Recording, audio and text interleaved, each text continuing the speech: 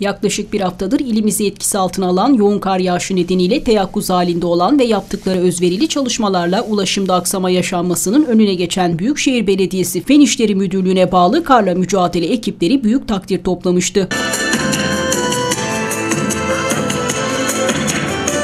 Çalışmaları yakından takip eden Kocaeli Büyükşehir Belediye Başkanı Tahir Büyükakın, Intertex alanında düzenlenen programda ekiplerle bir araya geldi. Marmara Belediyeler Birliği ve Kocaeli Büyükşehir Belediye Başkanımız. Buyurun. Şuraya biraz daha gireyim. Evet. Büyükakın yaptıkları yoğun çalışmalarla gönülleri kazanan personele sucuk ekmek ikram etti.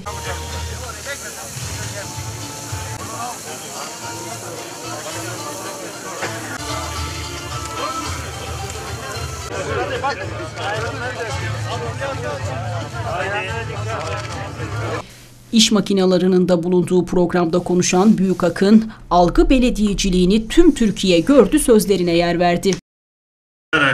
sosyal medyadan paylaşım yaparak karların temizlenmediğini bütün Türkiye gördü.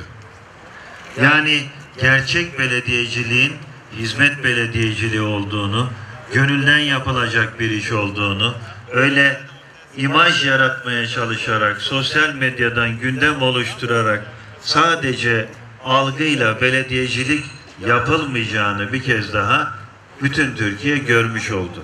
Umarım gerçekten görmesi gelenler de bundan derslerini almışlardır. Keşke bunlar yaşanmasaydı. Keşke İstanbul o sıkıntıyı çekmeseydi. Gerçekten insanın yüreği üzülüyor. Ama biraz emek vermek lazım. Emek için gayret vermek lazım. Fedakar olmak lazım. Belediyecilik aynı zamanda gönül işi. Sizler gönülden bu çalışmaları yapmaya razı olmasanız bir belediye başkanının altındaki genel sekreterin, onun yardımcılarının, daire başkanlarının aslında yapacağı hiçbir şey yok.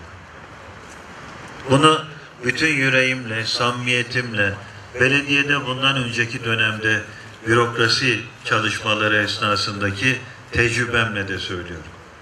Eğer sizler çalışmaya niyetli olmazsanız başınızdaki amirler istediği kadar becerikli olsunlar.